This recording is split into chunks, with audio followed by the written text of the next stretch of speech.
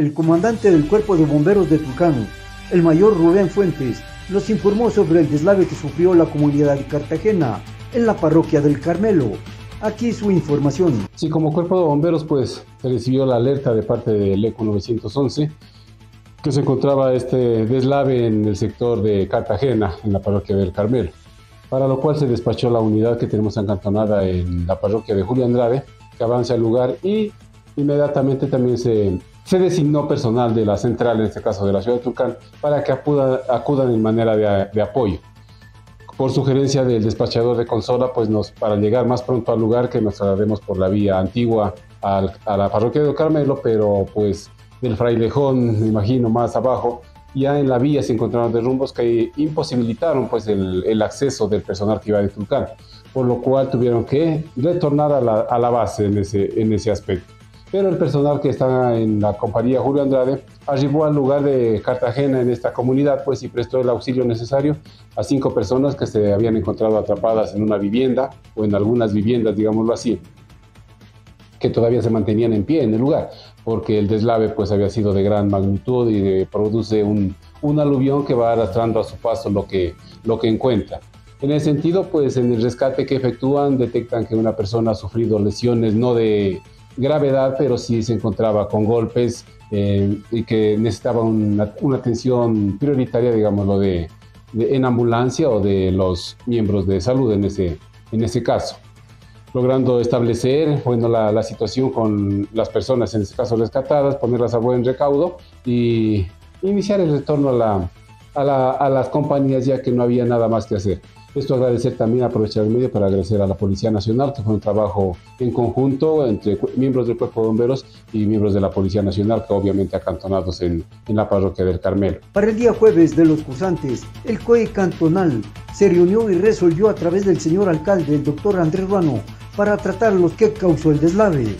Luego, pues, el día jueves se reunió el COE y se dieron algunas recomendaciones, disposiciones ya y resoluciones que se tomaron. Inmediatamente nos trasladamos a la parroquia del Carmelo, exclusivamente a la comunidad de Cartagena, para constatar los daños que ocasionó este, este deslave, tomando en cuenta de que ya teníamos conocimiento anterior de lo que sucedió el día miércoles en este caso. Bueno, se, se, dejó establecido el sentido con el señor alcalde, se establecieron algunos parámetros, se dejó informado a la ciudadanía y retornamos a las, a las bases respectivas. El día sábado, como cuerpo de bomberos, a las 3 de la tarde, también recibimos una llamada del ECO 911 que por visualización, se puede decir, o comentarios de los moradores del sector que subían al pie de la montaña con ganado para que pasten estos, pues dan indicios de que en las partes bajas de las cascadas se encontraba el agua emposada y que posiblemente iba a producir un aluvión o bueno, iba a producir un deslave tal vez mayor o menor como lo que sucedió el día miércoles. El mayor Rubén Fuentes informó que gracias a Dios no hubo pérdidas humanas. Con lo que nosotros eh, recibimos o recabamos la información, pues nos manifestaron que eran cinco viviendas que estaban al pie de la vía en ese, en ese, en ese caso momento que nosotros abordamos no encontramos absolutamente nada. Si una vivienda que soportó la inclemencia, pues si que estaba el, el lodo eh, atascado en el lugar, pues era una casa de dos pisos y el lodo estaba en la parte media del segundo piso. Entonces dice que, o pudimos constatar de que la gran cantidad de flujo de lodo que bajó, pues fue inmensa en ese, en ese instante. Ahora pues la, con la ayuda de la maquinaria pesada la vía está en cierta manera ya habilitada, pero hay que tomar precaución para que no vuelva a suceder esto, porque como lo manifestaron los moradores mismos de la localidad, que a los 50 años más o menos se viene a producir un, una desgracia, digámoslo, de esta magnitud. Un mensaje hoy que se está resonando lluvias por todo el sector rural, un mensaje para que eh, los ciudadanos eh, se guíen a través de sus discusiones, sepan eh, precavirse o estar atentos a cualquier percance de las vías que están suscitando Sí, en ese sentido, pues como precaución tener, o la recomendación necesaria que le hace el personal de Cuerpo de Bomberos como tal, de buscar un buen resguardo para, en este caso, la inclemencia del tiempo, si es un temporal muy fuerte en lluvias, pues, y al menos si estamos en, al pie de una loma o de una montaña en ese aspecto,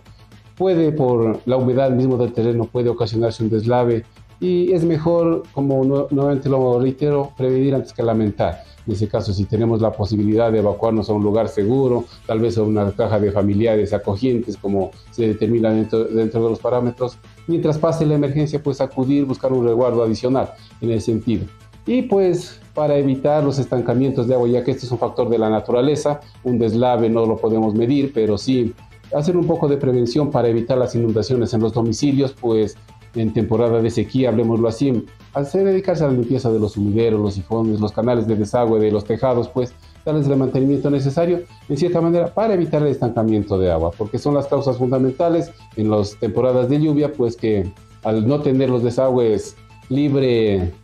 de evacuación de las aguas, pues se estanca y obviamente permite el ingreso de este, este líquido a, las viviendas, a los domicilios y van dañando nuestros enseres, bueno, cualquier pertenencia que tenemos. Como recomendación eso, y si estamos en un lugar vulnerable de riesgo, pues buscar un lugar seguro sobre todo. El Cantón Turcán se presta, como usted lo manifiesta, a celebrar sus 173 años de cantonización, pues un viva Turcán, un saludo a toda la ciudadanía que pertenecemos a esta bella tierra, como siempre lo hemos manejado, de entrada o la, el centinela, la centinela del norte del, del, país. Y es la puerta de entrada al Ecuador en, el, ese sentido. Y darles un saludo